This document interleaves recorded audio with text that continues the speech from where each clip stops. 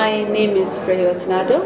I work for Farm Radio International. I'm the country representative for Ethiopia program. Farm Radio International is a Canadian-based uh, organization. It's an NGO. We're not broadcasters, but we work to build the capacity of uh, uh, rural radio stations working on agriculture uh, so that those radio stations uh, will be able to provide quality, timely, and important information to the farmers.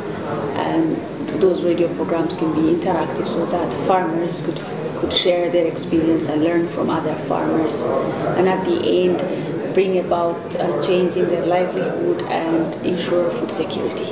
Uh, the past three days, I've been uh, participating in a workshop organized by CCAFS on communication and social learning for climate change. For climate change.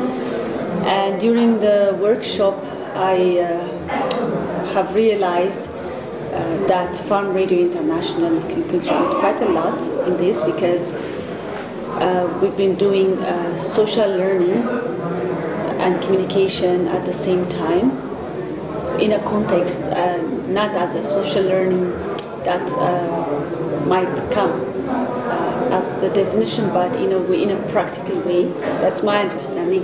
That is that we involve uh, all stakeholders, um, the, the, researchers, the knowledge partners, and the farmers initially uh, in designing the content and designing the message.